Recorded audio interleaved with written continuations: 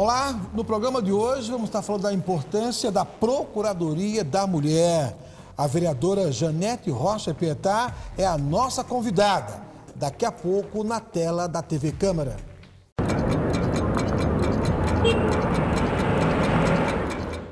Eu gostaria de saber como uma lei é criada.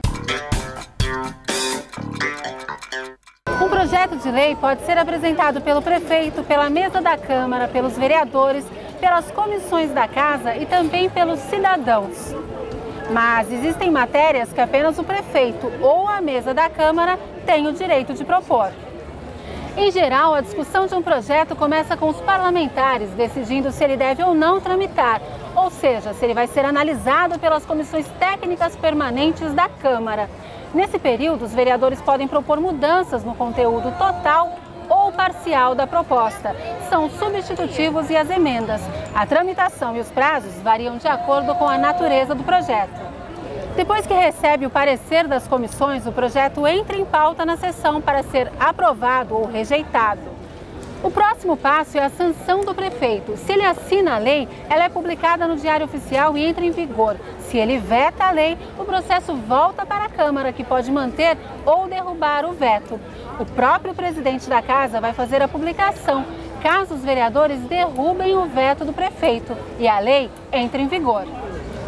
Se você tiver alguma dúvida sobre o Poder Legislativo Municipal e quiser ver a explicação aqui no Minuto Cidadão, entre em contato com a TV Câmara Guarulhos. Até a próxima!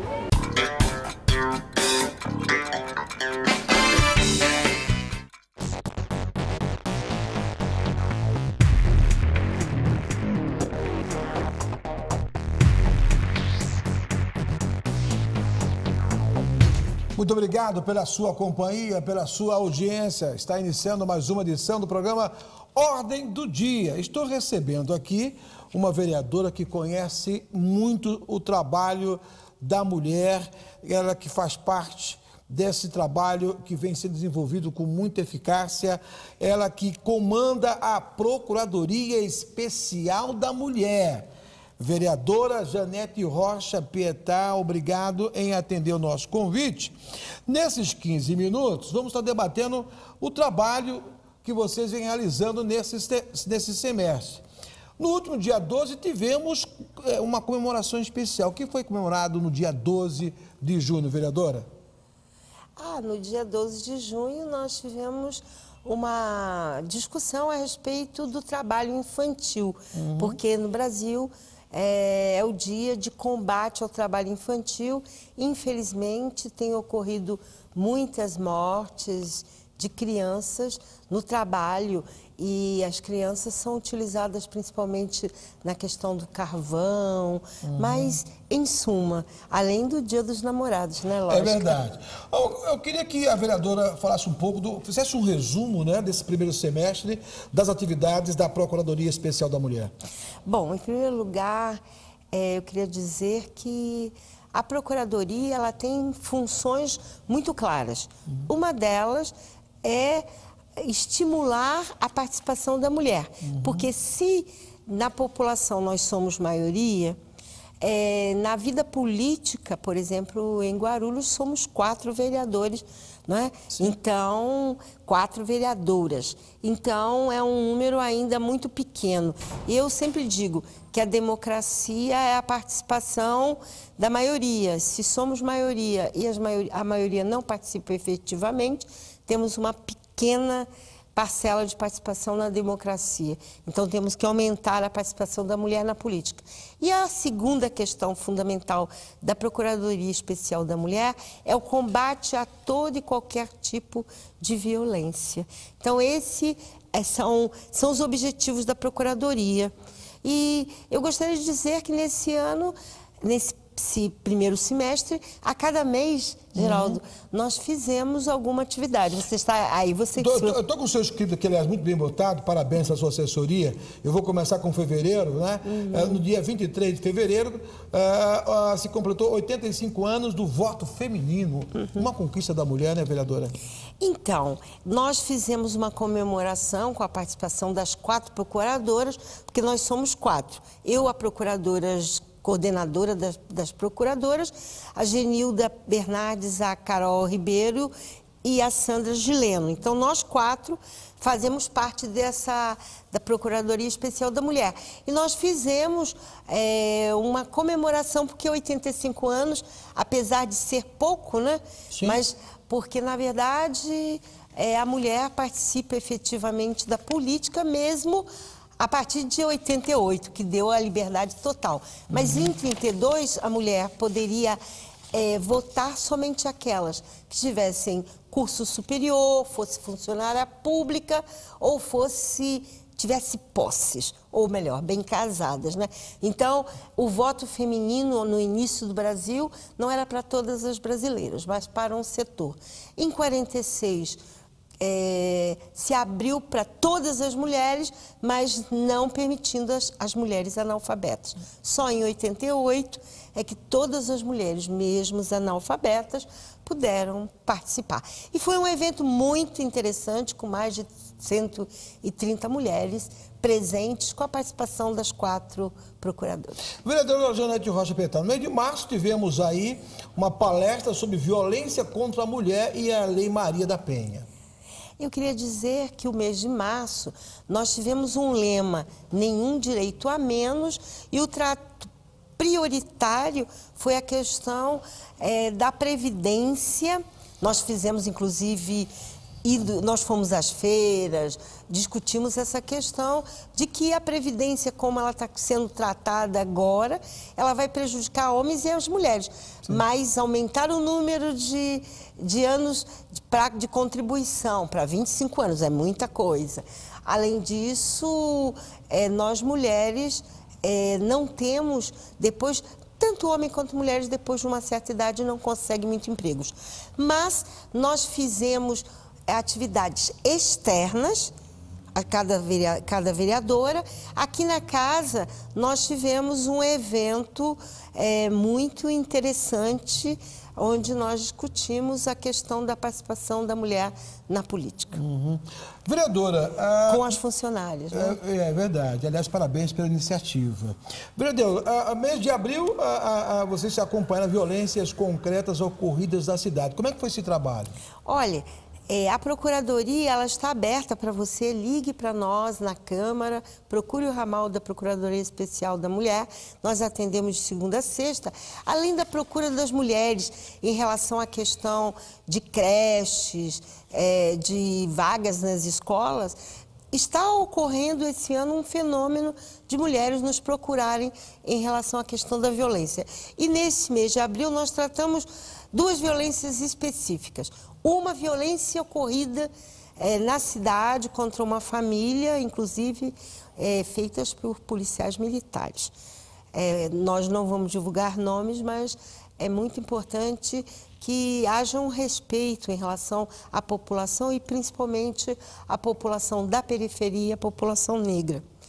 Também nós tratamos, inclusive tivemos uma audiência com o prefeito, com os secretários do prefeito, a respeito das mulheres grávidas, porque foi um tema que eletrizou esta casa, a questão dos comissionados, e nós tratamos especificamente das questões das comissionadas graves, grávidas.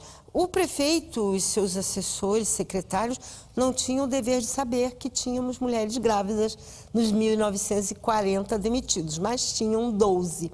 E estamos ainda nessa luta pelos direitos, porque a mulher grávida tem que ter um respeito especial por ela e pelo futuro brasileirinho que virá. Uhum. Então, nós fizemos um trabalho de, de falas aqui no, na Câmara, de ida conversar com os secretários de administração para tratar desse tema muito delicado. Nós julgamos que as mulheres devem receber os seus direitos e a mulher grávida ou se paga o direito ou então readmite. Mas eu queríamos que pagasse os direitos. Estou conversando com a vereadora Janete Rocha Petato, do Partido dos Trabalhadores. Mês de maio, no seu calendário, como tema do mês de maio, é, vista as seguintes datas e lutas, decidimos trabalhar os seguintes temas.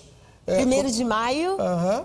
Primeiro de maio é emprego. E, nós tá, e quem tá, está mais desempregado é a mulher. Então, nós tratamos dessa questão. Aliás, nós fizemos e aqui uma sessão, uma reunião ampliada, onde nós tratamos isso. Uhum. Inclusive, estiveram presentes é, trabalhadoras no transporte, dizendo que de 1.800 funcionárias na área, agora só tem 600.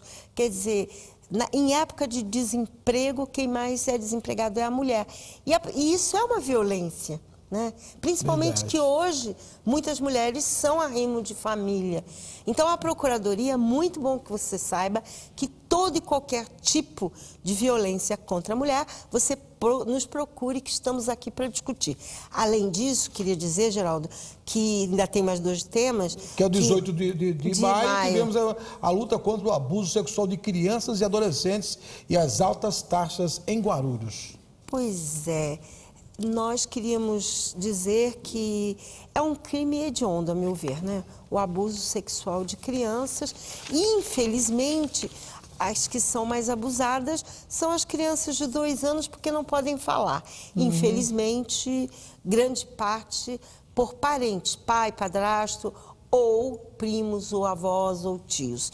Então, é um tema, nós propusemos à Câmara, como Procuradoria, que todas as vereadoras e vereadores fizessem campanha contra o abuso sexual contra a criança e adolescente. Dia 28 de maio, Dia Internacional de Luta pela Saúde da Mulher e Redução da Mortalidade Materna. Nós fizemos três em um. A reunião ampliada tratou dos três temas. Né? Tivemos aqui a presença de uma médica da saúde.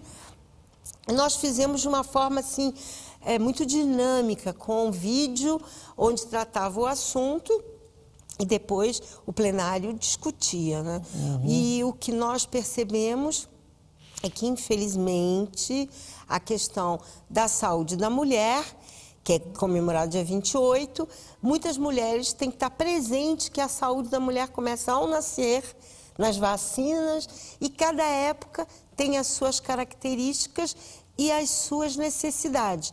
Infelizmente, a morte materna ocorre, a morte da mulher ocorre muito em relação à questão do câncer de mama. Né? Entendo. Agora, é importante prevenir, porque você fazendo o autoexame e acompanhando esse trabalho, você terá uma vida maior. Né? E, finalmente, uhum. neste, neste dia 28 também, tem a questão da morte materna. Né? Tá. Que nós, a ONU estabelece que a cada 100, 100 mil o aceitável, porque o ideal não é morrer nenhuma mulher em, uma, em um momento tão bom, né, que é o nascimento de uma criança. Mas, infelizmente, ainda temos altas taxas de morte materna. É, e morte materna significa durante a gravidez, ou por aborto, ou por alguma infecção, ou por alguma doença, e até os 42 dias depois do nascimento da criança. Essa fase é considerada a fase da morte materna. Vereador, os contatos da Procuradoria para você em casa, reuniões terças. Da a, Procuradoria. Né, da Procuradoria da Mulher, meio-dia até às 13 horas. O telefone 2475-0200, ramal 450 ou 244. Endereço, Rua João Gonçalves, 604. O e-mail está na tela para você procuradoria da mulher, arroba câmaraguarulhos.sp.gov.br. Atendimento ao público de segunda a sexta, das sete e meia às 16h30. É isso, vereadora Janete Rocha Pietá? Isso mesmo. Agora, aproveitando esse gancho, a sua, a sua presença aqui, nós estamos chegando ao final do programa, mas antes, eu gostaria de ouvir a sua opinião no mês de agosto, a TV Câmara Guarulhos está completando cinco anos de existência. Eu gostaria da sua avaliação, dessa sua chegada a esta casa, a avaliação que a senhora faz da TV Câmara, da importância da TV Câmara, uma, uma TV legislativa para a cidade de Guarulhos. Primeiro eu quero dar parabéns antecipado, né? Cinco uhum. anos. Depois dizer, é bom que se saiba que essa Câmara veio através do, do dedo do, de dois vereadores, que foi o Soutura e Edmilson, na época Edmilson era junto, uhum. de é, vice de Soutu, e veio, eu era na época deputada federal, nós trouxemos todas as para o, Estado e do Estado para a cidade. Quero parabenizar. Nesse fim de semana eu estive conversando com várias pessoas e as pessoas têm me visto na TV Câmara dizer que você está com uma equipe muito competente, uhum. boa muito presente e é muito importante, porque é assim que a população que nos elegeu fica sabendo do que ocorre na cidade.